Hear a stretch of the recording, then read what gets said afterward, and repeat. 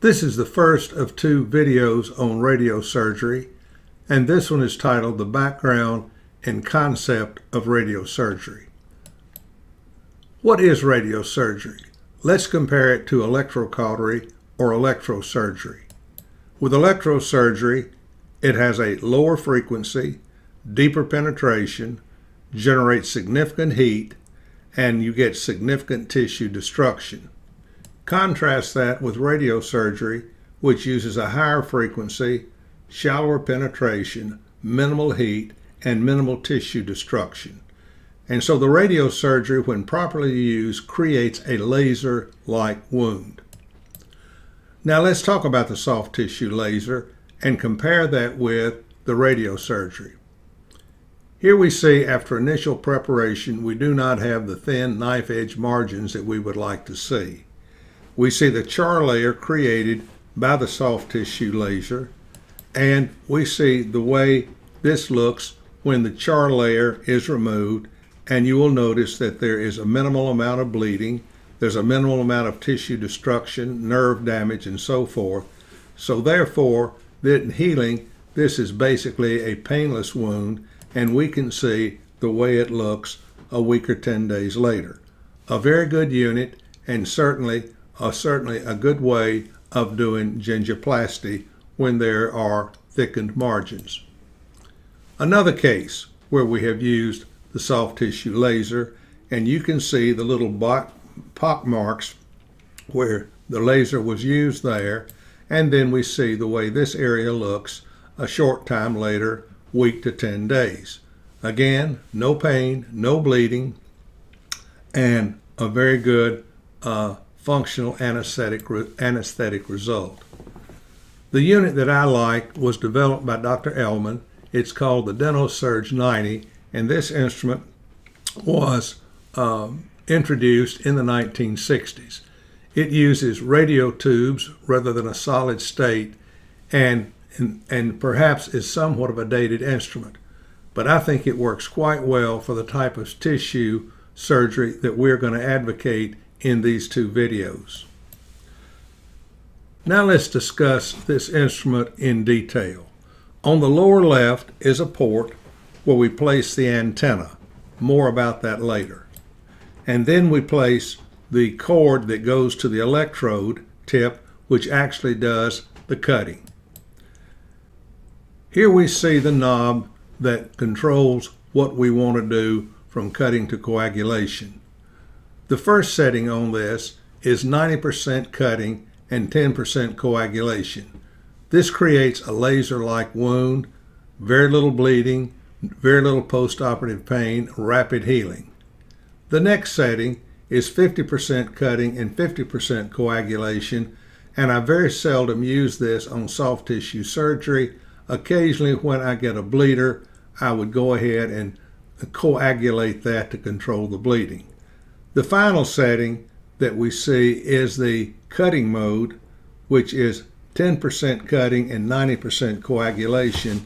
And this is basically uh, electrosurgery, and you're actually burning away the tissue. So to repeat, 99% of the surgery that we did with this that we will show in the clinical application was set on this unit, 90% cutting and 10% coagulation the little asterisk points that out. Now let's look at what the waveform shows on that.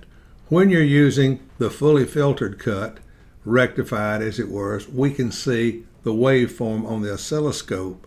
And when it's 50% cutting and 50% coagulation, the waveform that we see there. And once we go to the electrosurgery aspect, the difference in the wavelength there.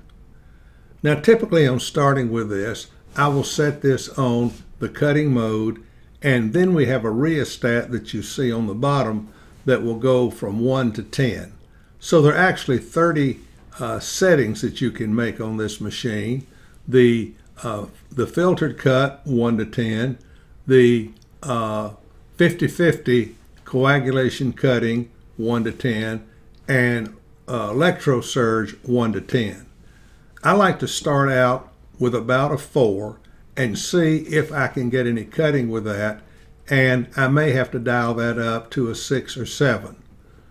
A word of caution, or not a word of caution necessarily, but a consideration. Remember this is radiosurgery unit.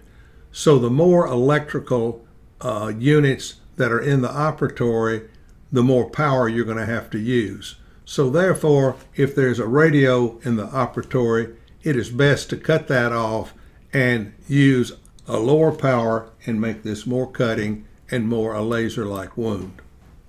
I mentioned the antenna. Place the antenna as close to the possible to the radiosurgery to reduce coagulation. The closer this is to the area that you're working, the less power that you use, the less power that you use, the less coagulation you get, and more laser-like the wound. And this is what the antenna is, and I would like to emphasize this is not a ground, this is an antenna to focus the radio waves so when they're highly focused, you do not have to use as much energy. The less energy you use, the more cutting, the less coagulation, and more the wound is a laser-like wound.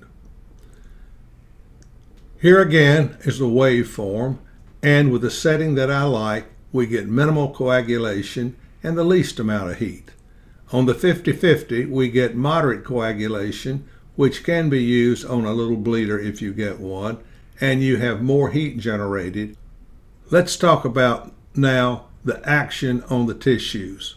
With a fully rectified, it's 90% cutting and 10% coagulation, and the fully rectified is 50% cutting and 50% coagulation. And the only time I use this middle setting is when I have a bleeder that I cannot stop when it's put on the fully filtered cut. And the partially rectified is hemostasis, and again, that's 90% coagulation and only 10% cutting, and basically that is uh, electrocautery. Now we mentioned on this that we can set the, uh, the rheostat on this on a 4. And as I said earlier, if there's a radio in the operatory, you may have to dial this up a little higher. I always start with a 4, and if that doesn't cut, then I will dial it up to a 5, 6, 7 till I get the vaporization technique that I want to use. To just show how delicate this instrument is, it is used in eye surgery to remove uh, cosmetically the fatty tissue there. And this is the way it looks two weeks later.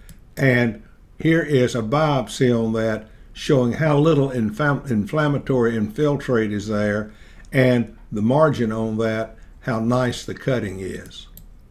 It has also been used to separate two Filipino twins that were joined at the top of the head. And this took a 17 uh, hour operation and radiosurgery cuts and coagulates without generating ex, uh, extra heat.